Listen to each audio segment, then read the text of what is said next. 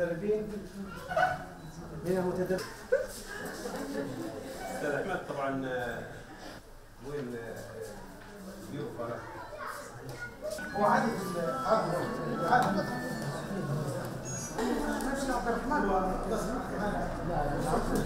في هذا الكورس تحديدا انضم له ما شاء الله 20 متدرب بين بنات وشباب وكان مدته أسبوعين زي العادة. وعندنا أربع طلعات تدريبية ورش عمل. كانت ثلاثة منها بطرابلس وزدنا فوقها ثلاثة ثانيات من ضمنهم زوز خارج طرابلس. واحدة تحديدا إلى يفرن جميلة وواحدة إلى سلات جميلة وإلى ترهونة جميلة. كانت على المناسبتين المتدربين وعائلاتهم تبارك الرحمن داروا ألفة وأصبحوا كأن جروب بفضل الله سبحانه وتعالى. مما شجع المتدربين أن هم يخشوا لمجال التصوير. فهم أقرب الآن إلى مصورين فنانين وليس مصورين فقط.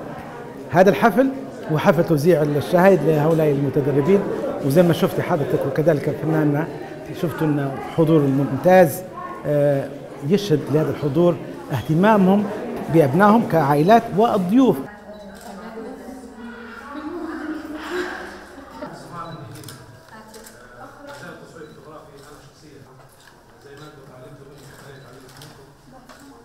أنا أحد المتدربات اللي كنت مع في الكورس مع أستاذ أحمد الترهوني وأعطاني فرصة إني نتعرف أكثر على التصوير وإني أنا نزيد نجتهد.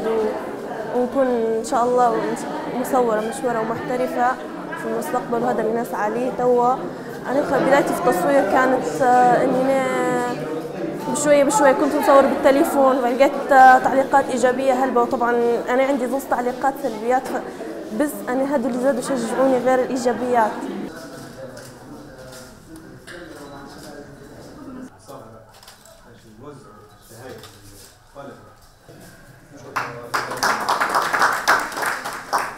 التصوير الفوتوغرافي طبعا بالأساس هو هواية آه، لكن آه، لابد أن يتبع الهواية هذه معرفة بالأسس نتاع التصوير لأن آه، حتى تكتمل الهواية ويكون المخرجات بشكل احترافي جميل.